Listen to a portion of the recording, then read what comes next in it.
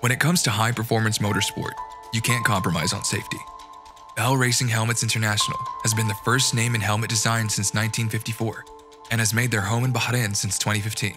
The launch of the Bahrain International Circuit in 2004 put the kingdom on the global motorsport map. But it was our business friendly culture, our Team Bahrain philosophy, and our strategic location that made Bahrain the perfect regional partner for Bell. Their $13 million investment created a brand new global R&D and manufacturing HQ, along with jobs for nearly 200 people from around 20 different countries. Bell exports 99.5% of their production to practically every country in the world, but they remain 100% in control of their ownership rights in Bahrain. Bahrain's free trade agreements open doors to the world's biggest markets, so Bell can give the world's best drivers the tools to go further and race harder. More than half of current Formula One drivers will vouch for that.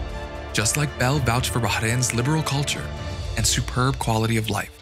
But don't just take our word for it.